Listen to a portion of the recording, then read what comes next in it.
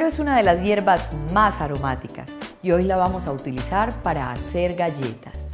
Galletas con romero y nuez pecan. Ingredientes. 250 gramos de harina de trigo, 180 gramos de mantequilla sin sal, 90 gramos de azúcar pulverizada, un huevo, 70 gramos de nuez pecan, una ramita de romero fresco.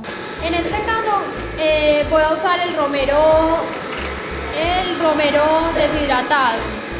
Vamos a cortarlo entonces finamente para que a la hora de agregarlo a nuestras galletas eh, suelte más su sabor. Entonces eh, vamos a agregar la mantequilla y vamos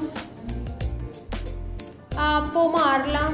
Puede ser a una velocidad media o eh, pues si lo queremos hacer más rápido a una velocidad alta para que creme más rápido.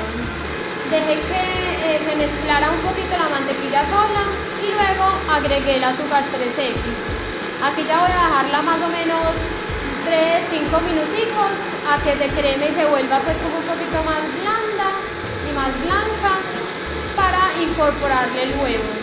Agregamos el huevo completo y continuamos batiendo hasta que este se homogenice bien y vamos a agregarle entonces los secos. Tenemos la harina y la nuez pecan. Lo voy a integrar entonces a los secos y el romero. Voy a ir integrando entonces los secos a la preparación.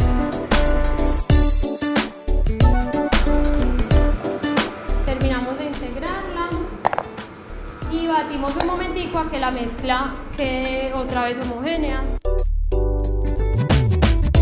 Tenemos la lata con papel parafinado. Eh, tengo acá entonces mi manga pastelera desechable. Vamos a poner entonces el producto en la manga.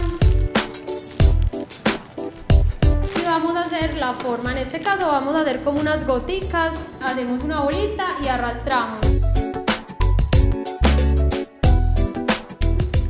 Calentamos pues el horno que ya lo tenemos a 180. Las llevamos al horno y las vamos a dejar, eso también pues como que depende del tamaño, entre unos 8 o 10 minuticos a que ya se doren. Les recomiendo estas deliciosas galletas para acompañar un café. Para muchas otras recetas nos vemos en patriciaveles.com.